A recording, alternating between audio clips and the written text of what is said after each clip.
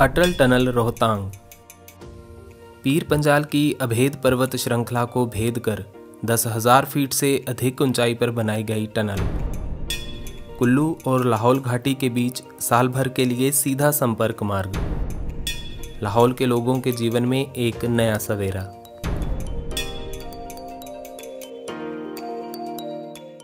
नमस्कार दोस्तों, हमारे चैनल हिम बस में आपका स्वागत है।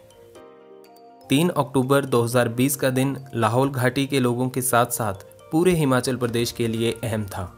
इस दिन बीआरओ द्वारा रोहतांग पास के नीचे बनाई गई सुरंग का लोकार्पण प्रधानमंत्री द्वारा किया गया, जिससे हिमाचल प्रदेश के दो हिस्से आपस में सीधे जुड़ गए हैं। इस वीडियो में हम आपको मनाली से अटल टनल रोहतांग होते हुए लाहौल घाटी की यात्रा करवाएँगे। अभी हम मनाली में हैं और शुरू करते हैं टनल की ओर अपना सफ़र। आप हमारे साथ इस वीडियो के अंत तक बने रहिए ताकि आप इसके बारे में पूरी जानकारी हासिल कर सकें। तो आइए दोस्तों, शुरू करते हैं। लाहौल या लेह जाने के लिए मनाली को बेस स्टेशन माना जाता है। यहाँ पर ठहरने और खाने पीने के बढ़िया विकल्प उपलब्ध हैं।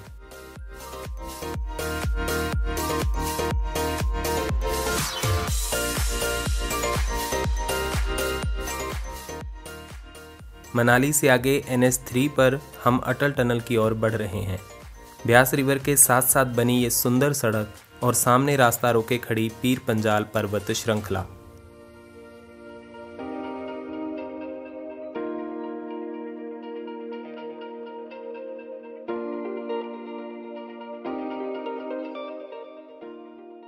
गर्मियों के मौसम में तो रोहतांग पास होकर इस श्रृंखला को पार करके लाहौल या फिर लद्दाख पहुँचा जा सकता था, मगर सर्दियों में इस रुकावट को पार करना असंभव था। लेकिन इस अभेद पर्वत श्रृंखला को भेद कर अटल टनल रोहतांग बनाई जा चुकी है और लाहौल के लिए साल भर आवागमन हो सकता है। इस टनल का साउथ पोर्टल कुल्लू ज़िला में है, जबकि नॉर्थ पोर्टल लाहौल स्पीति ज़िला में है। दोस्तों, इस टनल से पहले मनाली से लाहौल के सिस्सू की दूरी 80 किलोमीटर थी। इस दूरी को तय करने में लगभग पाँच घंटे का समय लग जाता था। लेकिन अब टनल के माध्यम से ये दूरी मात्र 34 किलोमीटर की रह गई है और इसे एक घंटे में तय किया जा सकता है। रोहतांग में लगने वाला ट्रैफ़िक जैम और बर्फीले तूफ़ान अक्सर बाधा बन जाते थे। कई बार लोग अपने वाहनों में वहाँ फंस जाते थे, जिन्हें हिमाचल प्रदेश पुलिस और बीआरओ के जवानों द्वारा रेस्क्यू किया जाता था।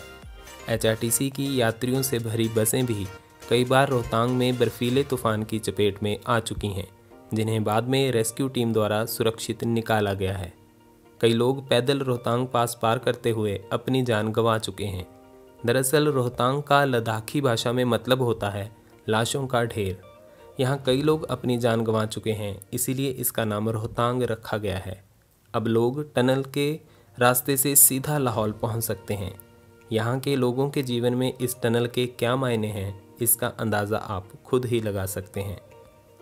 मनाली से सरचू तक का रोड बीआरओ यानी बॉर्डर रोड ऑर्गेनाइजेशन के प्रोजेक्ट दीपक का हिस्सा है। इस सुंदर सड़क से टनल तक जाते हुए पीर पंजाल रेंज का अद्भुत सौंदर्य देखकर मन उत्सुक हो उठता है। पलचान से होते हुए हम सोलंग नाला पहुँचते हैं, जो कि एक मशहूर टूरिस्ट प्लेस है। कई टूरिस्ट यहाँ कुछ पल बिताते हैं, यहाँ खाने पीने व रुकने के इंतज़ाम भी हैं।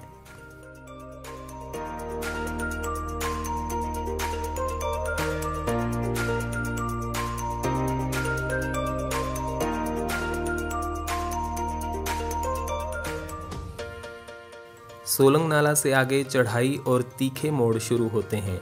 धुंदी के पास दो स्नो प्रोटेक्टेड टनल्स भी बनाई गई हैं। यहाँ से हम कुछ पलों में ही अटल टनल के साउथ पोर्टल पर पहुँच जाएँगे।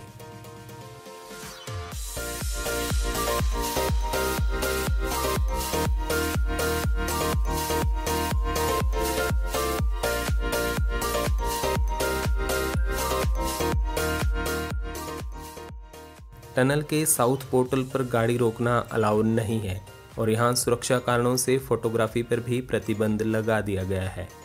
आपको यहाँ बिना रुके सीधा टनल में प्रवेश करना होता है। हिमाचल प्रदेश पुलिस के जवान 24 घंटे इस टनल की सुरक्षा में तैनात रहते हैं। खुलने के बाद से ये टनल दोपहर दो से तीन बजे तक मेंटेनेंस के लिए बंद रहती है। साथ ही लाहौल घाटी के लिए इलेक्ट्रिसिटी फीडर केबल भी इस टनल के अंदर से बिछाई जा रही थी, जिसके लिए यह टनल रात के नौ बजे से लेकर सुबह छः बजे तक बंद रहती थी। लेकिन यह काम 6 दिसंबर तक पूरा कर लिया गया है। अब रात के समय में भी वाहन टनल के माध्यम से आर पार हो सकते हैं। हालाँकि विंटर्स में लाहौल घाटी में ज़्यादा स्नोफॉल हो जाने की वजह से टनल की टाइमिंग्स में टेम्परली बदलाव होते रहते हैं। मनाली क्षेत्र में अधिक बर्फबारी हो जाने की स्थिति में कभी कभी टूरिस्ट को साउथ पोर्टल, वरना सोलंग घाटी में ही रोक दिया जाता है। आपसे रिक्वेस्ट है कि सर्दियों में बर्फबारी के मौसम में अगर आप टनल के माध्यम से लाहौल जाना चाहते हैं तो लोकल गाइड्स या अथॉरिटीज से इसकी टाइमिंग ज़रूर कंफर्म कर लें।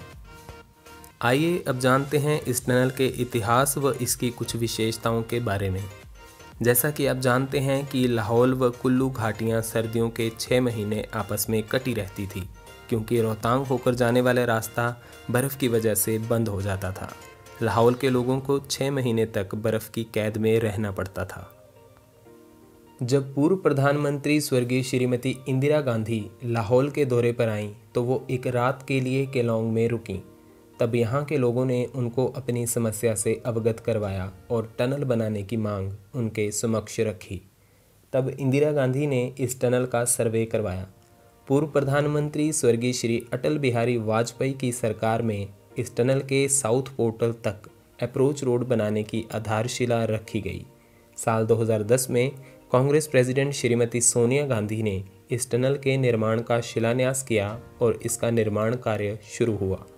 दस साल बाद ये टनल बनकर तैयार हो गई और 3 अक्टूबर 2020 को प्रधानमंत्री श्री नरेंद्र मोदी द्वारा इसे राष्ट्र के लिए समर्पित किया गया।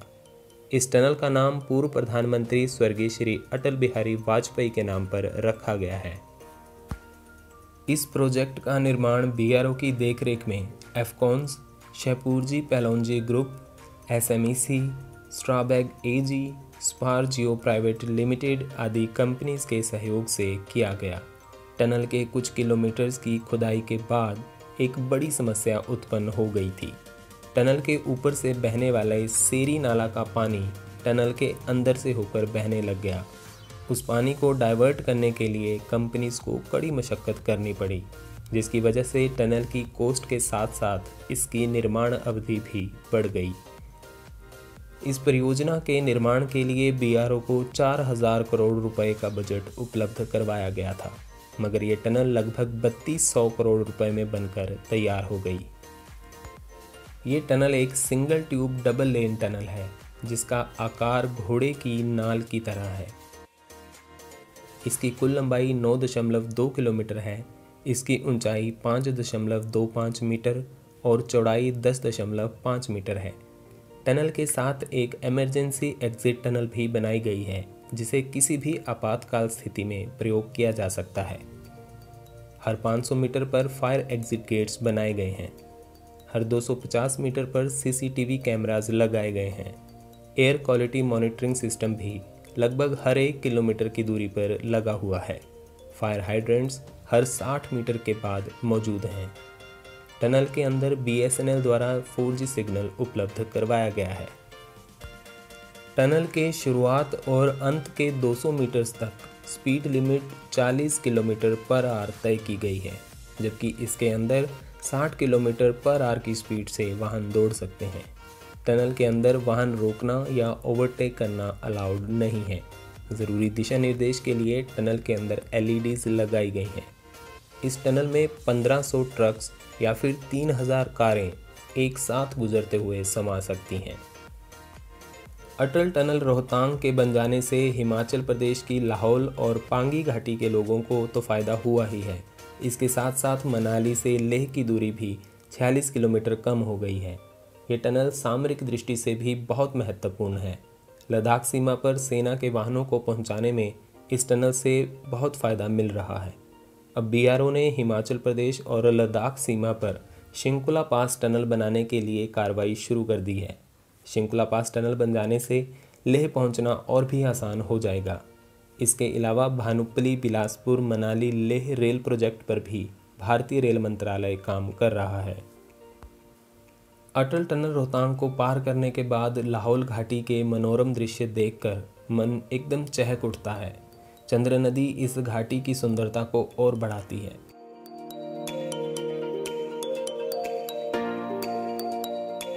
नॉर्थ पोर्टल से आगे चंद्र रिवर ब्रिज पार करके राइट साइड की ओर स्पीति घाटी के लिए रास्ता जाता है, जबकि लेफ़्ट साइड की ओर केलोंग व लेह की ओर रास्ता जाता है।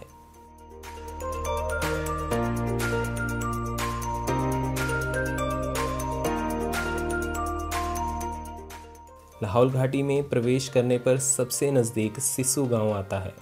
ये गाँव घाटी का प्रमुख टूरिस्ट प्लेस बनकर उभर रहा है। सिसु लेक एंड वाटरफॉल के साथ साथ यहाँ की सुंदर सड़कें पर्यटकों को अपनी ओर आकर्षित करती हैं। लाहौल के कुछ सुंदर दृश्य दिखाती हमारी एक वीडियो का लिंक डिस्क्रिप्शन में दिया गया है। आप इस वीडियो को भी ज़रूर देखें। दोस्तों, अगर आप इस टनल के माध्यम से लाहौल आना चाहते हैं तो प्लीज़ सभी इंस्ट्रक्शंस को फॉलो करें। यहाँ की शांत वादियों का भरपूर आनंद लें। इस बात का खास ध्यान रखें कि यहाँ वहाँ कचरा मत फैलाएँ। कुदरत की सुंदरता को बनाए रखें। आप टनल से लाहौल आकर रोहतांग पास के रास्ते से भी मनाली वापस जा सकते हैं। तो दोस्तों, आपको ये वीडियो कैसी लगी हमें कमेंट्स में ज़रूर बताएँ। आप अपना लाहौल एक्सपीरियंस हमारे साथ शेयर भी कर सकते हैं। हमारे फेसबुक और इंस्टाग्राम पेजेस का लिंक आपको डिस्क्रिप्शन में मिल जाएगा। धन्यवाद। जय हिंद, जय हिमाचल।